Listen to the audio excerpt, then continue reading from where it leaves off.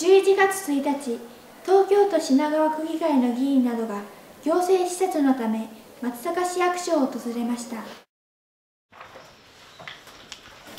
今回の視察は品川区議会の総務委員会12人が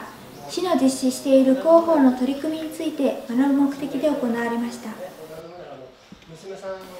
はじめに松阪市議会松岡恒夫副議長と品川区議会総務委員会本田武信委員長からそれぞれ挨拶がありました。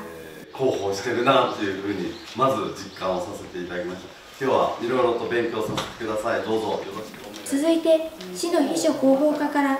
月1回6万5千部を発行している広報松阪について説明がされましたその中で20代から40代の子育て世代に見てもらえるようなデザインにしていることや迷子特集記事を掲載して市民に市の取り組みについて関心を持ってもらうための工夫などを紹介しました。その他公共施設を見学できる市政バスを長年行っていることや市の職員が各所に出向き防災や介護予防などをテーマにさまざまな情報を学んでもらう講座を開いていることを説明しましたあのまずあの若い世代に必ず見てもらえるんじゃないかなという感想を持ちましたあとはあの市政全般にわたるあありとあらゆる情報があ分かるなというすごくあのもう膨大な量だなと思いました。